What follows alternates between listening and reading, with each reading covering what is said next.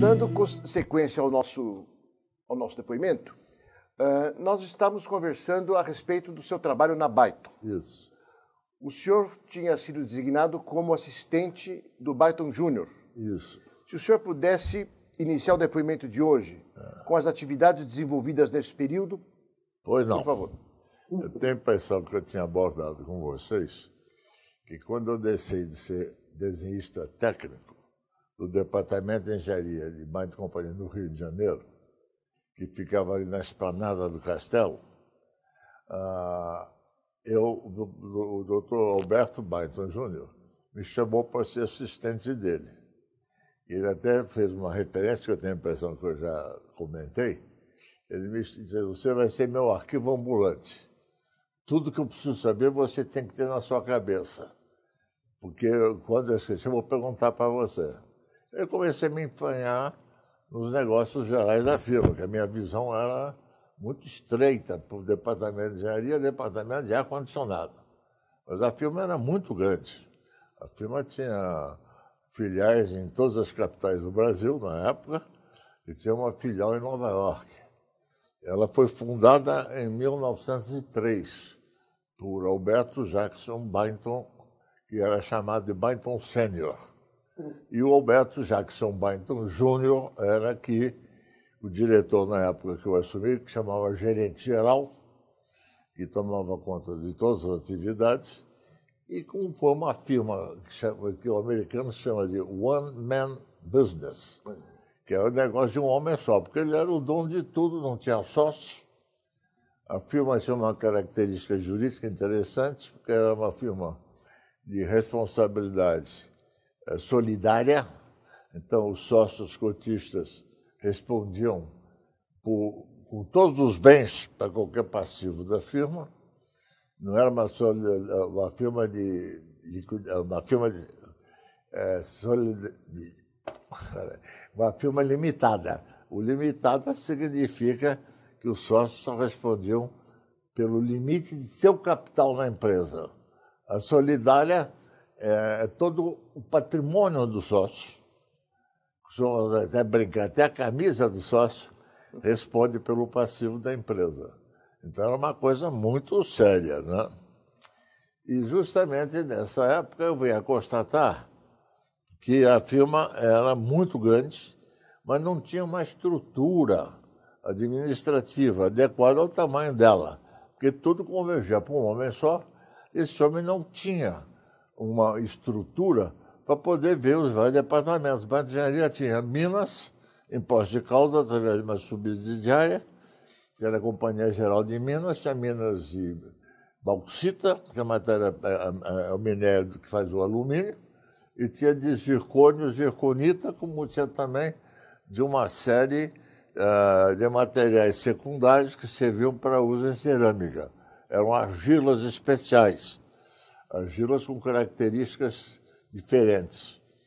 E, e o grande fornecimento dela era de bauxita, que também se usava, além que a matéria-prima fundamental do alumínio, ela, através do sulfato de alumínio que vinha da bauxita, servia para tratamento de água, porque ela era que fazia a decantação das impurezas da água. Então, nós vendíamos muito para as, a, os, as estações de tratamento de água que existiam no Brasil, em vários estados do Brasil, como também vendíamos para a Argentina para chamava-se Obra Sanitária da Nación, que era a parte de tratamento de água da província de Buenos Aires.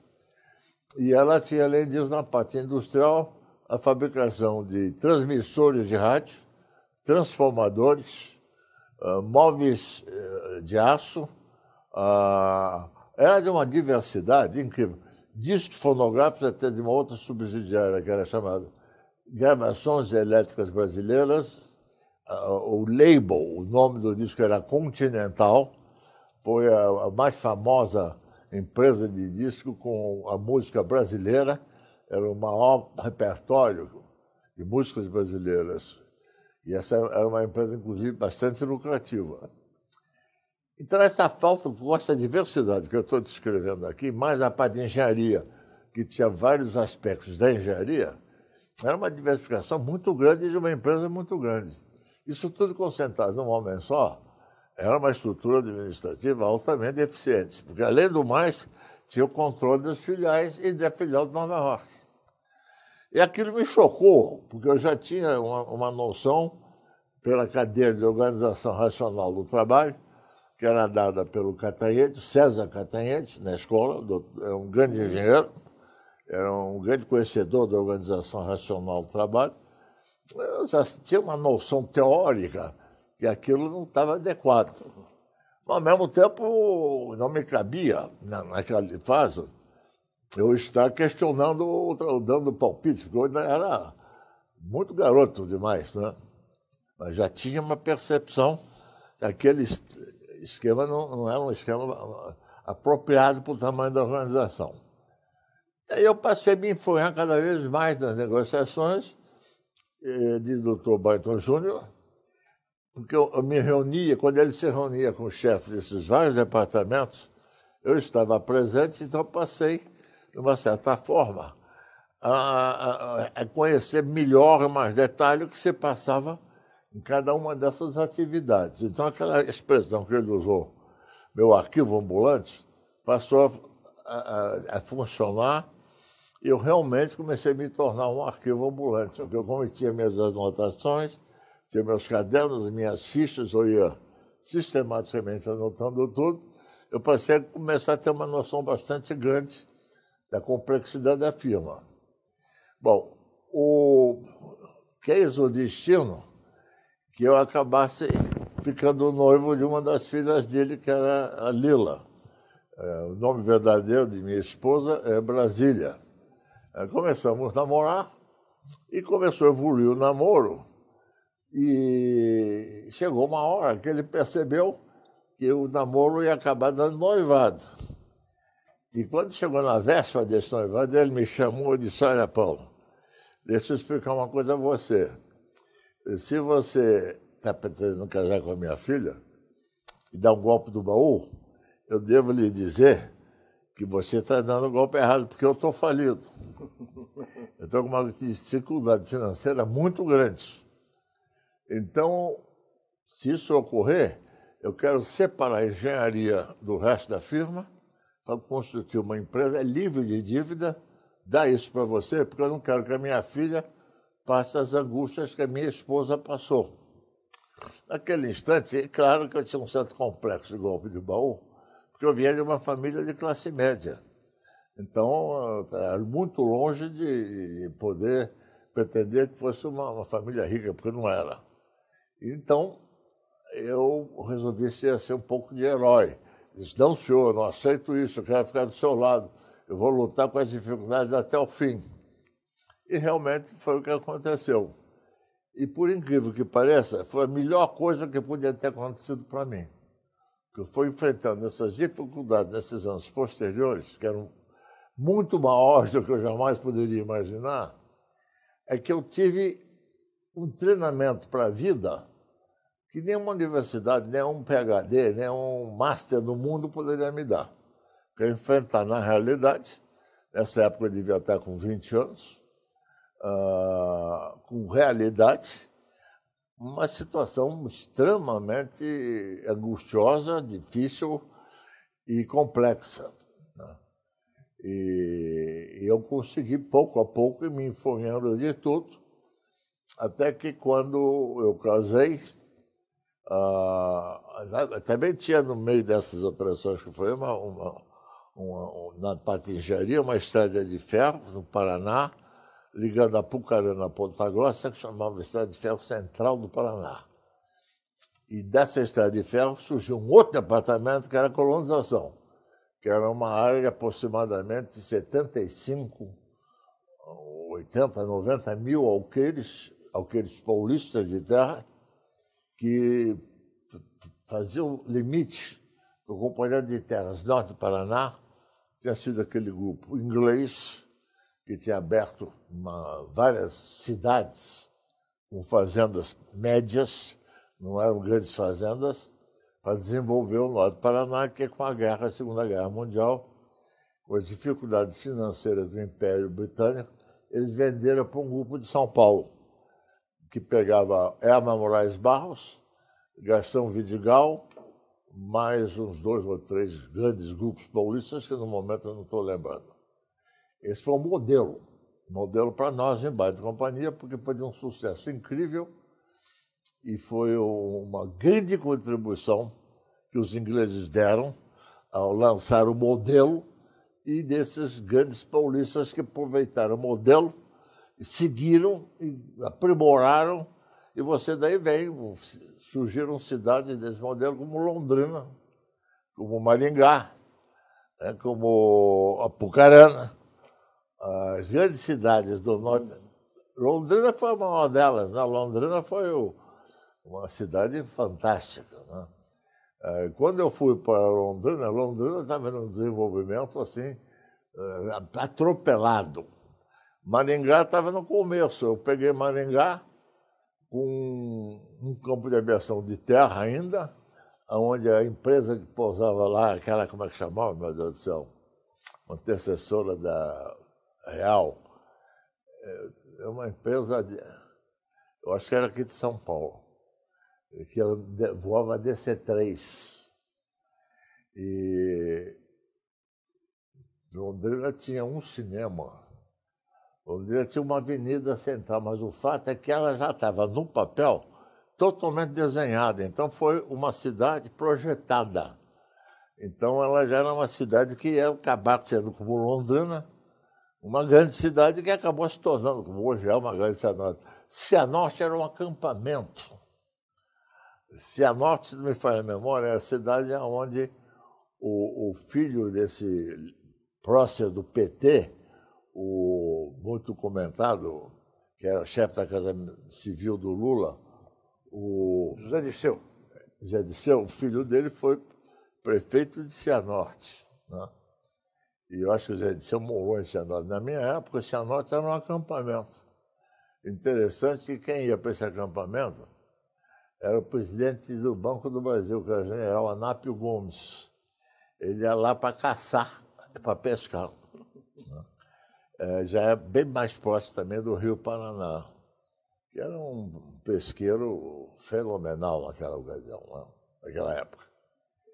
Então, essa, essas recordações foram e deliciosas. Nessa, nessa multiplicidade de ramos em que se dividia Byton, qual foi o primeiro caso concreto importante com que o senhor se defrontou, como assistente de Baiton Júnior? Foi a Estrada de Ferro Central do Paraná. A Estrada de Ferro Central do Paraná eh, foi um investimento brutal que Baiton Júnior fez. Naquela ocasião, ele tinha que a Caterpillar dizia que Baiton e Companhia tinha o maior parque de máquinas Caterpillar ao sul do Rio Grande. Rio Grande é que divide dos Estados Unidos do México. Né? Então, ao sul do Rio Grande, quer dizer, pega toda a América Latina. Estava em mãos de Baita Companhia. E também foram os primeiros caminhões que eles chamam off-roads, fora da, da, da estrada, que eram caminhões gigantes, caminhões de pneu. O pneu era um monstro, maior que um homem. O pneu devia ter um diâmetro de um metro e meio, dois metros, e eram pneus enormes, para poder carregar um maior volume, maior tonelada de terra. As, as escavadeiras, os tratores. Os tratores eh, tinham desde o D6, D7 e maior, a maior frota era D8, que eram justamente naquela ocasião os tratores Caterpillar uh, mais possantes, né? de maior impulso. Né? E é essa era uma obra contratada do, pelo governo do estado do Paraná. Aí tem uma estrutura financeira bastante complexa. Eu poderia dar um, um, um voo do azul, como se diz, dar uma pequena passada apenas para poder. É importante. É, justificar, porque foi uma inovação na época. O porquê que acabou essa empresa botando baita companhia, é, esse empreendimento botando baita companhia em uma situação muito difícil.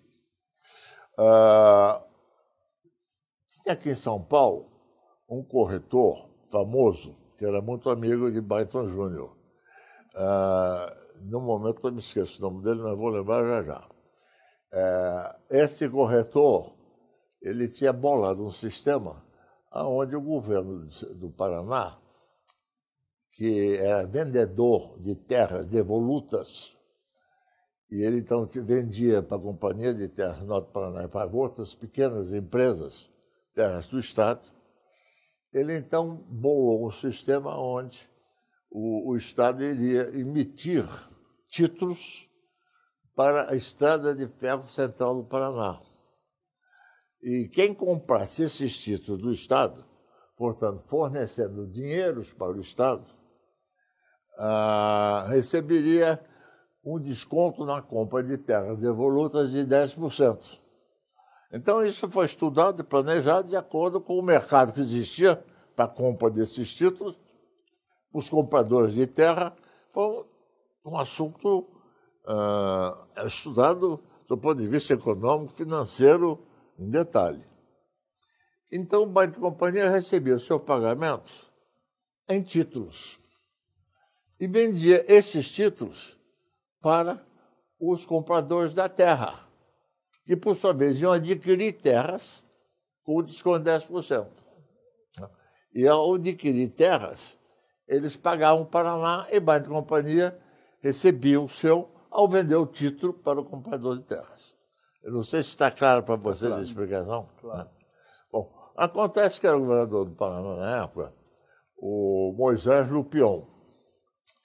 E, e, tem uma fama que não era uma fama. Foi muito, governador do Paraná. Foi governador do Paraná e era governador nessa época, foi quem aceitou esse esquema para uma, uma obra grande do Paraná. Na época, uma das maiores obras de terraplanagem do Brasil. Qual era a fama dele? Ele tinha uma fama bastante complexa, bastante. Eu não, não vou me aventurar a dizer se se era verdade ou não, porque é tal história. Eu não tenho uma prova, mas a fama era uma fama de ser um homem que não cuidava muito dos interesses públicos e mais dos seus interesses pessoais. Para quem é bom entendedor, meia palavra basta. E, nesse momento, o, ocorreu que ele, vendo o sucesso que tinha sido essa iniciativa de Bain e Companhia para financiar uma grande obra pública, no estado dele, ele resolveu editar o mesmo esquema para saneamento básico, uh, não apenas para a capital, mas para várias cidades, além de Curitiba, várias cidades do Paraná. Depois de saneamento básico, apareceu para fazer um projeto hidrelétrico. Então, aquele mercado de compradores de título para construir uh, uh, Estado de Ferro Central do Paraná, ficou invadido com vários outros títulos. Então, os títulos da Central do Paraná passaram a, a, a ter uma pequena parcela desse mercado. Então, Banco Júnior recebia o, os papéis, mas não tinha comprador. Então, para tocar as obras, ele tinha que ir aos bancos para obter financiamento. Né? E ficava com aqueles títulos. Então aí a única solução que no momento ele estava empilhando os títulos, ele encontrou, foi ele comprar terras devolutas do Paraná, ter um desconto de 10%, desenvolver essas terras para, com o resultado da venda das terras, se financiar e pagar a dívida do banco. Não sei se eu deixei o esquema uh, claro para vocês. Bom, é evidente que quando você vê um esquema desse tamanho. Na época, muito dinheiro, um dos maiores contatos que tem no Brasil. O capital de giro, como se diz, capital de movimento, some, evapora. Então, como ele tinha várias outras atividades e não tinha um controle financeiro global, o que, é que aconteceu? Começou a faltar dinheiro em todo lugar e sobrar em alguns outros lugares. Então, estava uma situação como ele disse, a minha firma está em uma situação de pré-falência. E era verdade. Mas ocorre que era muito mais em função da desorganização da estrutura de ser firma de um único dono do que de ter negócios que por si eram maus. Não.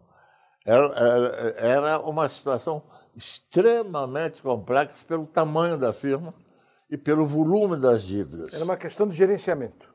Era uma questão de autogerenciamento.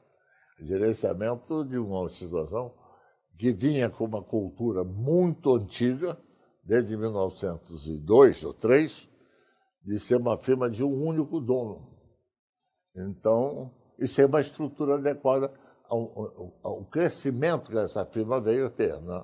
Agora, na época, isso era comum também. Com, Como? Era comum é, com outros empresários no Brasil também esse tipo de estrutura é é, mais centralizada. É né? verdade. Não era Apenas só o que não era trabalho. comum é ter uma firma do tamanho de Bain Companhia que tivesse essa estrutura de negócio. Um negócio, uma firma de tamanho médio, pequeno, o, o- esquema de, de- de um único dono pode funcionar muito bem. Mas quando você entra com a diversidade, a complexidade e, e a abrangência da ação da firma, ah, era impossível que um único dono pudesse ter o controle sobre todas essas atividades. Repara bem como eu falei, ela tinha atividades espalhadas em todas as, eh, as capitais do Brasil. Tinha uma filial em Nova York. Ela trabalhava com bancos brasileiros e bancos americanos. Ela tinha financiamentos para vários prazos e períodos e negócios diferentes. Então, era uma situação que hoje, hoje, hoje, nos dias de hoje, século XXI, ainda seria muito complexa. Vocês imaginem isso no século XX, pelos anos de 1950, 60. Era uma situação realmente muito aflita que levou a esse estrangulamento financeiro, essencialmente por falta de capital de giro apropriado para o tamanho das atividades. Agora, é, o senhor tinha é, bastante acesso já ao mercado financeiro na época? Quais alternativas que a empresa dispunha? Não, eu não tinha. Eu, pessoalmente, não tinha acesso nenhum. Ah, o meu problema de banco era de- depositar para poder assinar cheque. Eu não um conhecimento financeiro, experiência financeira nenhuma. Eu, como eu falei, eu vinha de uma família de classe média, não só a família era de classe média, portanto, de movimentação muito restrita, como eram de funcionários públicos. E você não se esqueça que a orientação da minha família baseou-se na ação do meu avô, Egídio Martins, que era um positivista. Portanto, era um homem que detestava os chamados plutocratas, que eram os ganhadores de dinheiro, os financistas. E, porque a visão de meu avô era uma visão socialista. Então, a minha experiência nessa era era zero, o menos um, entendeu? O menos vários uns. Mas, apesar disso, o senhor foi designado para enfrentar o problema no Paraná. mas do ponto de vista do engenheiro. Porque o, o- o chefe da- da- das obras era o doutor, professor doutor Hum- Humberto, ah, era professor catedrático da USP, em estradas. Ah, tinha logo o segundo nome dele. O doutor Humberto é- era o chefe da. Mas ocorre que quando eu fui ao Paraná, comecei a ver os problemas, eu constatei que o problema, eu, inclusive eu tive ah, a iniciativa de pôr os meus livros debaixo do braço, de estradas da Politécnica do Rio, para ir para Curitiba e começar a ver os problemas da Estrada de Ferro Central do Paraná, que eram livros técnicos. Ocorre que o problema não é de engenharia, não era técnico. O problema era um problema eminentemente financeiro. Dizer, é o que eu acabei de descrever, que o Lupion arrebentou com o mercado de títulos estaduais e, e o nosso financiamento, que era baseado num papel estadual, acabou perdendo totalmente a liquidez. Né? O que obrigou o meu sogro, que já não tinha liquidez, a entrar num negócio onde precisava investir mais, que era a colonização do Paraná, para, através de venda de pequenas fazendas e lotes em, em cidades, que se distinguiu dos lotes fazendas pelo nome de data. Data era o lote urbano. Né? Então, era a venda disso que era a prazo para buscar capital que justificasse os dispêndios da Estrada de Ferro Central Paraná, que era uma das grandes obras na época. Eu estou falando 1900, a década de 50, 60. É, foi a maior frota de Caterpillar na América do Sul, é o sul do Rio Grande. Né? Então era a maior obra de, de, de engenharia de estradas que tinha na América Latina. E essa estratégia da Byton deu certo? A estratégia da Byton não tinha. Eu digo, de comprar as terras devolutas e ah, fazer a revenda. Não é que ela deu certo. Ela não acudia às necessidades dos dispêndios na construção da estrada. É, não havia fornecimento suficiente de dinheiro da venda de terras para cobrir as despesas com a construção da estrada. Então, aumentou o endividamento da firma. Então, criou um bolo de neve, mas ao contrário, é que o seu descascar a cebola. Em vez de aumentar, começou a diminuir. Que era mais um negócio, né? Como? Era mais um negócio. Mais que, um negócio, mais um investimento de retorno de longo prazo. De médio para longo prazo. Tá? Então, para poder montar esses vários problemas, um trabalho muito complicado, muito difícil. Mas quando eu fui para o Paraná, voltando, cheguei lá com uma visão de engenheiro, eu não demorei muito tempo para perceber eh, que o problema não era de engenharia. O problema era um problema financeiro, por excelência. Então, o que você precisava era saber como que o governo do Estado iria poder uh, nos pagar. Né? Então, nós conseguimos, no fim, quando isso se localizou, eu praticamente me mudei para Curitiba. Eu passava muito tempo em Curitiba. E acabei entendendo bem como é que funcionava aquela sociedade paranaense e que existia uma, uma diferença enorme entre o que se chamava o Paraná do Sul e o Paraná do Norte. O Paraná do Norte era paulista e o Paraná do Sul era o paranaense, né? que não gostava do Paraná do Norte. Eram aqueles filmes, eram famílias tradicionais do Paraná, muitos com origem, inclusive, da, da colonização polaca que houve no Paraná, alemã, e que não tinham a, a visão do paulista que tinha, através da antiga Companhia de Terra eh, do Paraná, dos ingleses, colonizado o norte. Né? E a Estrada de Ferro Norte Paraná era justamente a primeira ligação ferroviária entre o sul e o norte. O sul estava estagnado e o norte estava explodindo em desenvolvimento.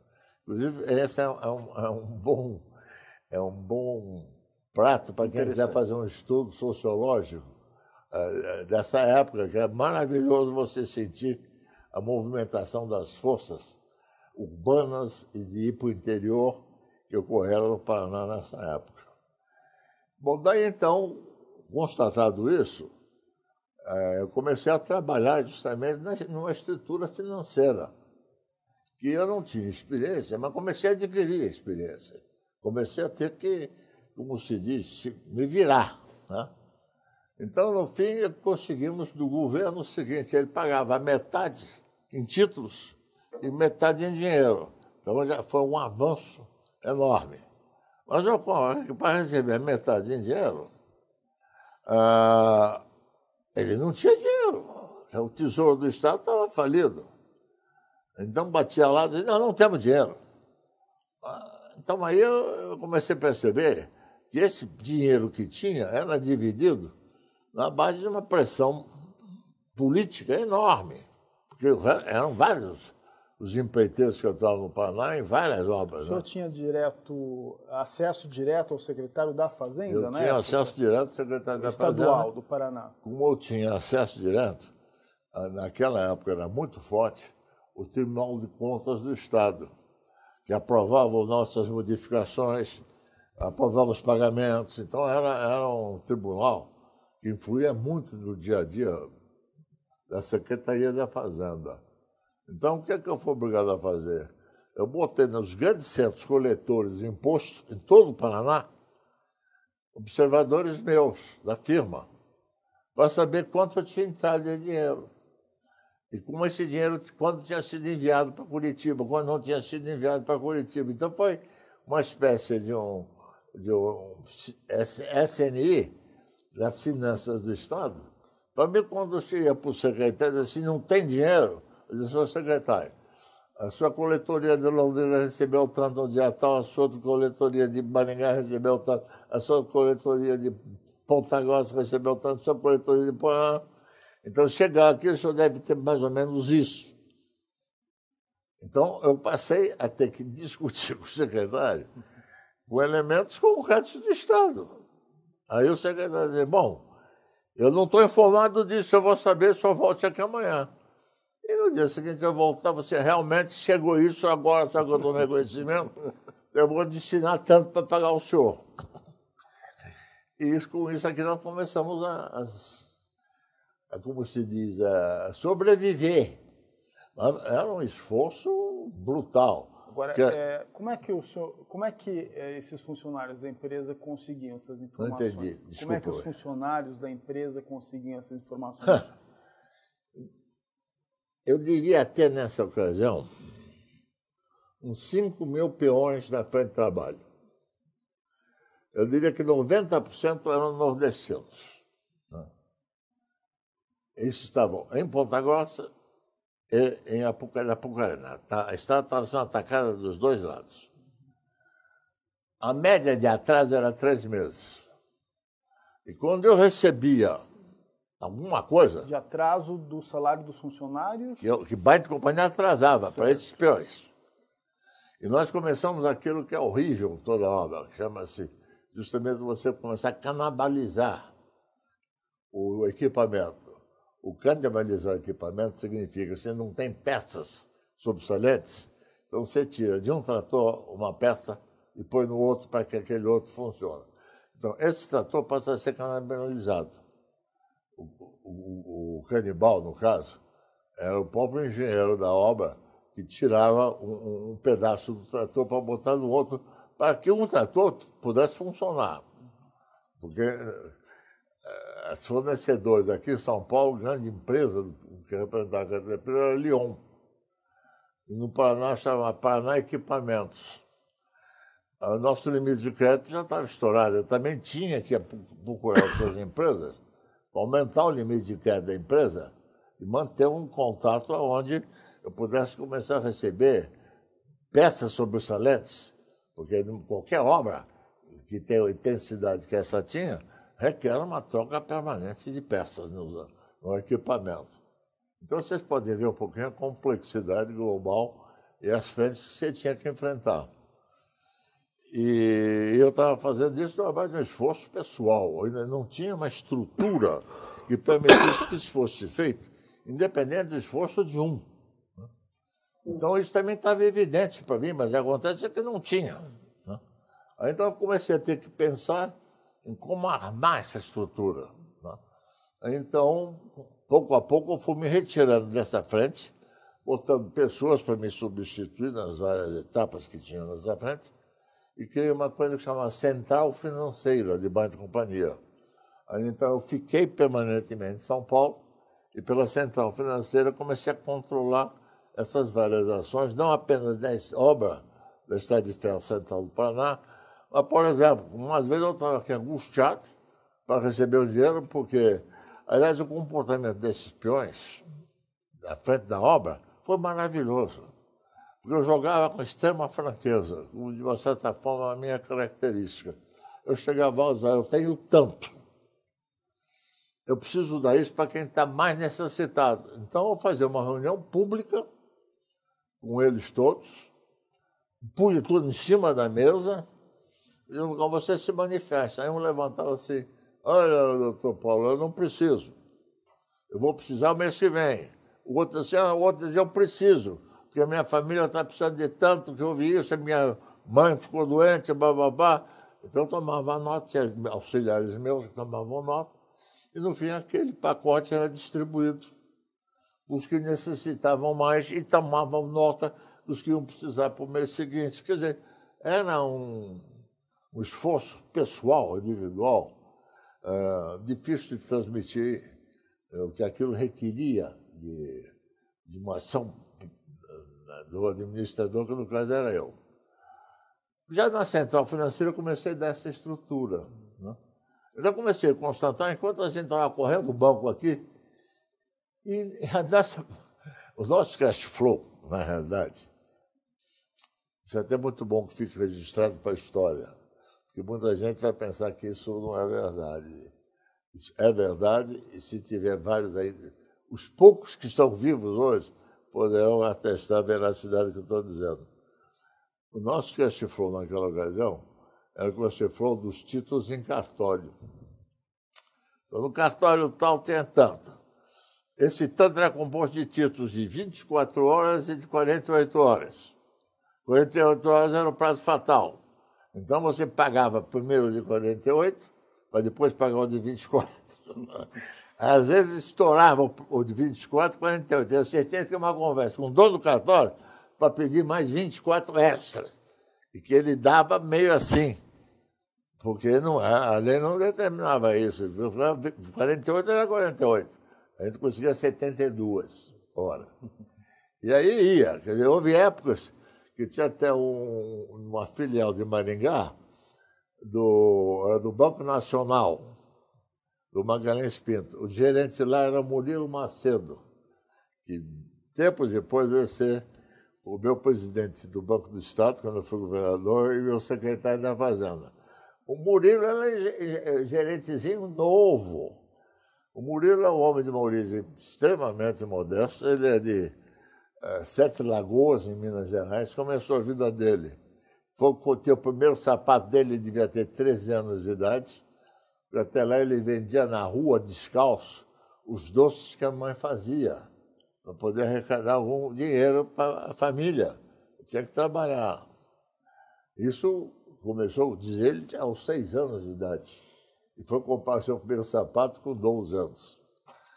E, então era um cara que tinha vencido na vida e acabou gerente do Banco Nacional em Maringá. Então ele, tinha um, uma comunicação humana extraordinária. É um homem que tinha sofrido. Né? O sofrimento de um grande mestre. Toma nota dessa frase. Você sabe que o. Então, o que, que eu fazia? Eu dava um cheque meu, pessoal, para o Murilo, em Maringá, e ele me dava o dinheiro. Mas o cheque era compensado para vir para São Paulo. Então ele atrasava entregar o chefe da compensação em Maringá, eu pegava o avião, vinha para São Paulo, botava o dinheiro na firma para pagar título em cartório, e o cheque ia chegar para ser compensado em São Paulo quatro, cinco dias depois. Então eram quatro, cinco dias que tínhamos ganho de tempo para saldar obrigações que estavam em cartório. Quer dizer, o senhor teve que montar uma rede de informações, tanto com relação aos recebimentos da empresa, né, como um contato muito bom com a rede cartorial. Né? Quando você luta pela sobrevivência, aí que você entende. Vale tudo. Essa experiência no Paraná durou quanto tempo? Olha, eu levei nessa brincadeira uns 15 anos. E só no fim, pois aí, depois dessa central financeira, eu já estava formado, já estava casado. O doutor Barton me fez, então, gerente geral, como ele. Então, tinha os mesmos poderes dele. Ela diga-se passagem, ele nunca deixou de me apoiar em tudo. Ele realmente, disse a até me dava uma, uma responsabilidade maior ainda, porque eu senti o sofrimento dele, que no fim, o que valia era a garantia dele, pessoal dele. Né? É, eu não tinha nada para perder. Ele tinha tudo para perder. Né? Mas eu não eu tinha que resolver os problemas. Né?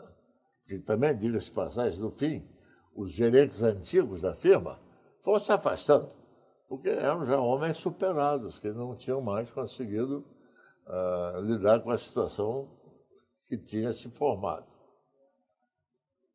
Eu sei que quando eu fui para a gerência geral, a, a, a gente tinha que trabalhar o de ontem, o de hoje, o de amanhã e o lá na frente, que eram os vencimentos dos grandes bancos. A Companhia começou a ter um financiamento grande do Banco do Estado de São Paulo. Depois ela começou a trabalhar porque esgotou aqui no Banco do Brasil, no Rio. Ela não era no Rio, era filial do Banco do Brasil na rua 1 de março. Aqui em São Paulo mesmo, na capital.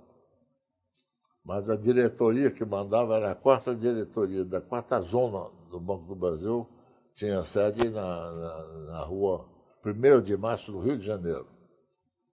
Bom, também era uma parada discutir com esses diretores, para ver os vencimentos, você tinha que pagar uma parcela e renovar a outra parcela. Enfim, eu, eu acho que eu estou dando uma ideia bastante clara da complexidade que se tornou o problema. Enquanto isso, nós começamos a ter que desenvolver muito a Central do Paraná. Aí apareceu um outro é, genro do Dr. Baito, que era José Augusto McDowell Leite Castro, que era muito meu amigo, que passou então aquele papel que eu exercia do início da, colonização no Norte do Paraná, o começo ali foi meu. A primeira vez que eu fui para lá, eu fui para Presidente Epitácio, peguei um barco e fui descer lá em Sete Quedas. E Sete Quedas tinha um rio que chamava-se. Esqueci o nome do rio agora. É um rio maravilhoso, que é o tributário do Paraná, logo acima de Sete Quedas. E, e se criou um porto de entrada nas terras, porque não podíamos entrar pelo, Maringá, porque não tinha estrada ligando Maringá a a divisa das nossas terras, não tinha. Então a gente entrava pelo rio, quando descíamos em Sete Quedas, subia-se o rio de Canoa, e fica um, um portozinho lá, que chamou-se Porto Bainto, ao lado de uma grande lagoa fluvial, que também se habilitou de Lagoa uh, Porto Bainto. E aí, então, eu tinha que ir para Paraguai, uma coisa inacreditável, é que você em sete casas atravessava para o Paraná por cima das rochas e, e, das pinguelas que tinha. Quando a distância era muito grande, se construíam umas pinguelas penses, e que você passava então de uma pedra para outra pedra, atravessava a pinguela e chegava do lado do Paraná, do lado do Paraguai. E do lado do Paraguai o que tinha era índio paraguaio. Tupi-Guarani. O senhor ia para Paraguai a negócios? O quê? A negócios. Não, eu ia para lá contratar mão de obra.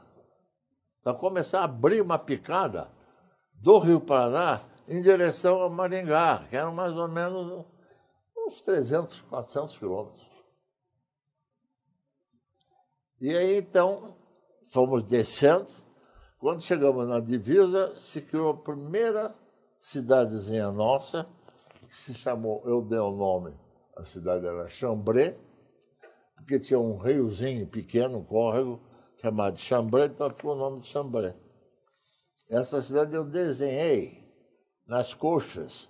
Quando eu digo nas coxas, é nas coxas mesmo. Papel aqui, escrevendo, desenhando, marcando aqui a entrada, aqui é isso, aqui é o bairro comercial, aqui é o bairro residencial. Depois, então, vinha para o escritório de engenharia, de nós em São Paulo, aquilo então era transformado numa planta efetiva. Aí você dava entrada no registro de terras do Paraná para constituir então uma cidade apta a vender data. Data eram os lotes urbanos. E começamos então a fazer também o loteamento em volta para acender os lotes de fazenda. Eram fazendas de 50, 100, 150, no máximo 200 alqueires. E essa autorização para estabelecer essa colonização era da Secretaria da Fazenda também? Não, a companhia era na Secretaria de Terras Devolutas do Estado do Paraná. Ela, ela que controlava É uma secretaria isso. própria para esse isso, tema. no Estado do Paraná. Bom, e aí o seu o, o outro genro do Dr. Byton assumiu as suas funções. Aí ele assumiu isso, praticamente se mudou para o Paraná, levou avante tudo isso. E o senhor já gerente geral. O quê? O senhor já gerente geral já gerente na Byton, se defrontando com outros desafios. Exatamente. Foi aí que eu comecei, então, a dar já uma organicidade, porque havia momentos, como eu estava dizendo, que você tinha título em cartório, eu tinha que pedir mais 24 horas, que era uma exceção, e a filial de Porto Alegre tinha o triplo do dinheiro que eu precisava para pagar aquele título. Mas eu não tinha comunicado na São Paulo que o dinheiro estava em caixa. A mesma coisa em Belém do Pará, que nós tínhamos um serviço todo de água e esgoto em Belém do Pará. A mesma coisa na filial de Recife. E muitas vezes até na filial da Nova York. Porque nós representávamos equipamentos e máquinas americanos que tínhamos comissão. Então, você vendia por exemplo, equipamento York com uma refrigeração. Tinha uma comissão de 10%. Então, vendia X milhões de dólares. Então, depositávamos 200, milhões de, 200 mil dólares. A nossa conta em Nova York. São Paulo não estava sabendo que tinha 200 mil dólares. Quer dizer, para enfrentar esse problema, o senhor implantou uma nova estrutura de organização. Que eu chamei de Central Financeira, que passou, então, até a palavra final no conhecimento e no destino de todos esses recursos. Só uma pessoa podia decidir sobre esses recursos, que era eu, na Central Financeira. Quer dizer, essas filiais tinham que imediatamente já informar né, essa central e a administração passou a ser completamente centralizada. Né? Exatamente. Mas aí, novamente, eu já conhecia o problema, começou a ficar centralizado em mim. Aí logo eu passei a descentralizar por setores. Então, a engenharia tinha um limite de poder utilizar de tanto. A parte de PB que era a parte industrial, tinha um limite de tanto. A colonização ficava contando da entrada que davam o pagamento da terra e o resto tinha que vir para São Paulo. Então, começou a se adaptar ali para não cometer o mesmo erro que vinha de trás. É uma centralização demasiada na mão de uma única pessoa. Não dá.